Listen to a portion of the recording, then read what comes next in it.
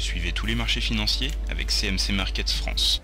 Avec CMC Markets, tradez les CFD sur indices, devises, matières premières et actions 24 heures sur 24.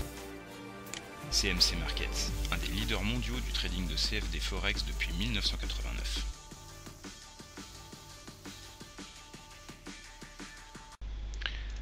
Salut, c'est Trado. Je vous propose euh, en cette fin de mois une triple analyse mensuelle hein, pour le long terme pour les investisseurs euh, sur le CAC, l'or et l'argent. Alors voilà où nous en sommes. Ici, nous sommes donc en unité de temps mensuel, c'est-à-dire que chaque bougie correspond à un mois de cotation. On voit que nous avons réussi à nous départir de cette fameuse moyenne mobile à 20 mois là qui nous capait depuis ben depuis euh, juillet 2011 et cette fois-ci, pas de doute, on a réussi à clôturer au-dessus de cette moyenne mobile à 20 mois alors que jusqu'à présent on avait juste réussi à la passer en séance c'est-à-dire pendant le mois, mais sans jamais réussir à clôturer au-dessus. Donc c'est une bonne nouvelle pour les haussiers, et il semble que nous sommes partis pour que nous soyons partis pour aller chercher, si tout se passe bien, dans un premier temps la médiane de la fourchette d'Andrews ici, c'est-à-dire les 3645, euh, avant de s'ouvrir la voie vers la Bollinger supérieure ici, aujourd'hui à 4000 euros, 4000 points. 4040 euh, points. Alors euh, les choses qui sont assez intéressantes sont d'abord le MACD qui est au-dessus de son signal ici, dans un contexte où le momentum est lui aussi positif. Donc on a vraiment une conjonction d'éléments très, euh, très favorable pour voir voler en éclat euh, euh, ces résistances. On remarquera quand même la présence d'une d'une résistance ici qui n'a pas été passée, hein, c'est ce segment noir.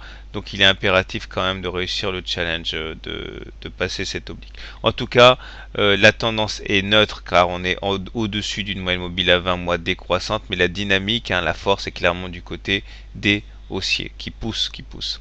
Du côté de l'or, voilà ce qu'on peut dire sur cette unité de temps mensuelle.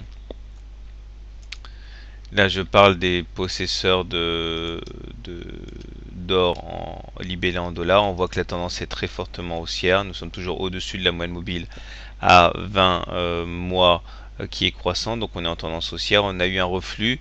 On le voit à la longueur de la mèche basse ici, mais euh, cette baisse a été canalisée à l'approche du contact avec la moyenne mobile à 20 mois.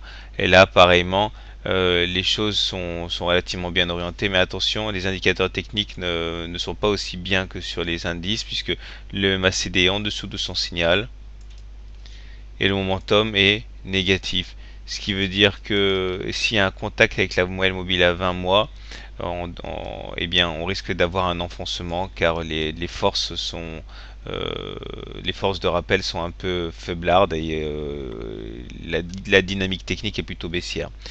Si on regarde un peu maintenant du côté de euh, l'or libellé en euros, là je parle du kilo d'or, hein, pas de l'once. Voilà où nous en sommes. Euh, très forte dynamique. Euh, nous sommes soutenus par la moyenne mobile à, à 7 mois ici. Nous sommes également soutenus par la moyenne mobile à 20 mois ici. Donc on voit que la faiblesse sur l'or libellé en dollars n'est pas du tout présente sur l'or libellé en euros. Euh, et pour cause, hein, l'euro n'est pas au mieux. Donc là, la tendance est très fortement haussière. Et pour terminer, voici ce que l'on peut dire de l'argent libellé en dollars. Voilà, donc euh, situation assez ambiguë. Nous sommes au-dessus d'une moyenne mobile à 20 mois qui est baissière, autrement dit on est sans tendance, mais les indicateurs techniques n'apportent pas grand-chose puisque le MACD est sous son signal, ce qui n'est pas bon. En même temps, le momentum lui est positif ce qui est plutôt euh, euh, plutôt bien. Donc euh, on est vraiment dans un dans une incertitude totale au niveau de, de l'argent ce qui est d'ailleurs confirmé par le fait que la moyenne mobile à 20 mois eh bien, est relativement plate hein, maintenant depuis, depuis mars 2012, ce qui montre bien l'indécision des intervenants pris en tenaille entre les institutionnels qui empêchent l'argent de monter et puis des très bons fondamentaux qui poussent l'argent vers le haut. Voilà, je souhaite une bonne soirée, de bons trades et à très bientôt. CMC Markets, un des leaders mondiaux du trading de CFD Forex depuis 1989.